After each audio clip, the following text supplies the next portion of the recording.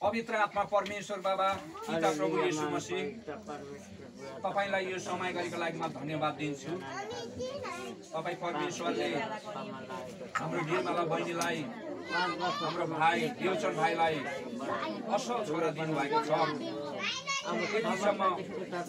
हुर्कँदै बढ्दै पढ्दै असल कुरो सिकाउनको लागि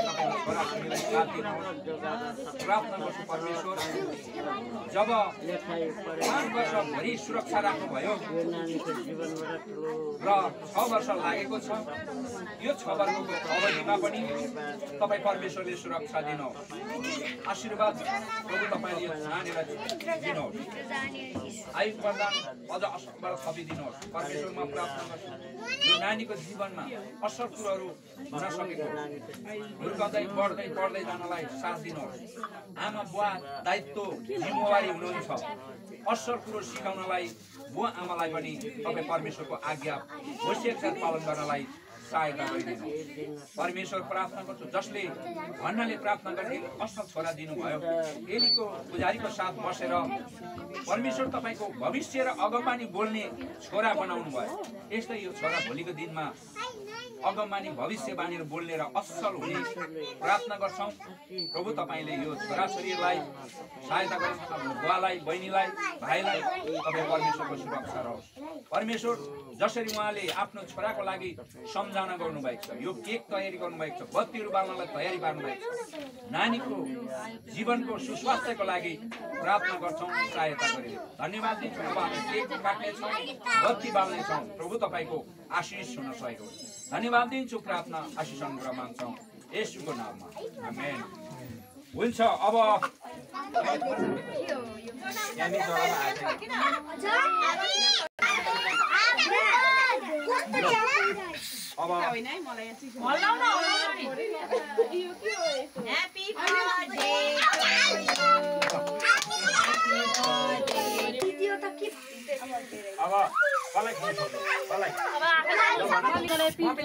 मम्मीलाई मम्मीलाई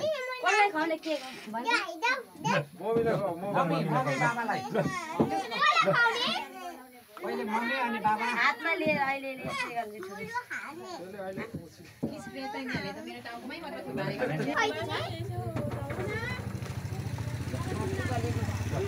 ल बुवालाई मिस गर्नुहोस् बाबा। ल बुवालाई।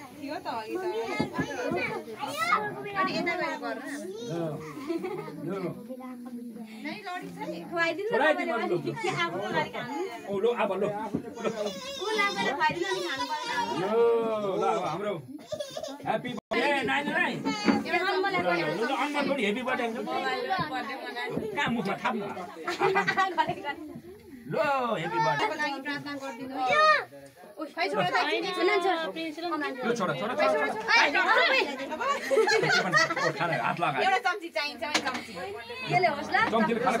नानीहरूलाई तपाईँहरूले भेट्न सक्नुहुन्छ।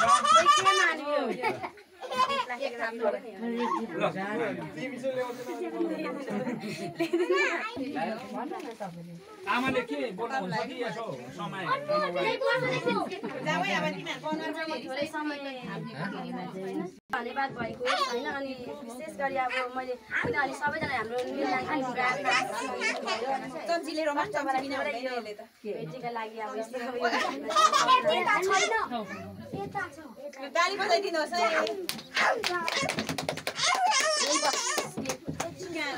खोइ त्यसलाई एउटा झोला दिनु पर्छ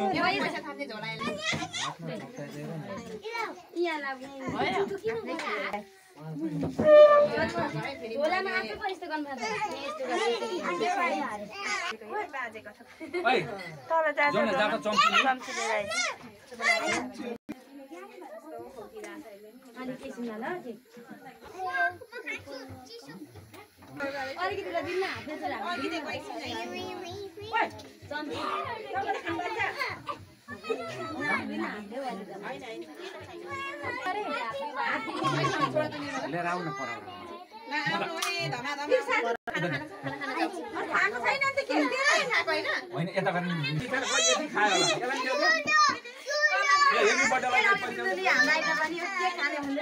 अब चाहिँ थापिस कि तँलाई म त्यो किडे मान्छु। मेन मान्छेलाई त खानु। मान्छेले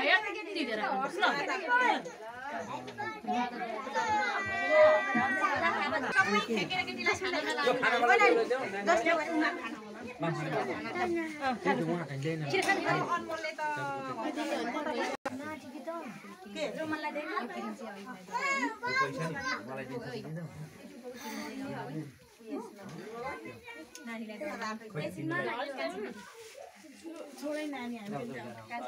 आउनु है आउनु। नानीलाई भेट्न। केक खाँदै खाना खाना जानु